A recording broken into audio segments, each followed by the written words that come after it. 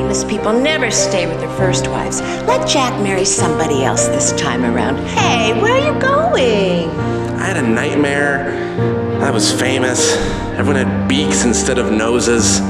Will you still love me when I'm famous? And Rome was an epicenter of rich white men. But it leaves women and non white people sort of out in the cold. I learned in my women's studies this course. new reality.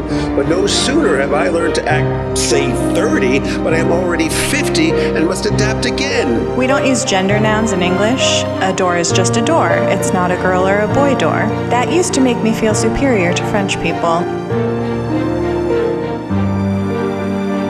This is a feminine beginning.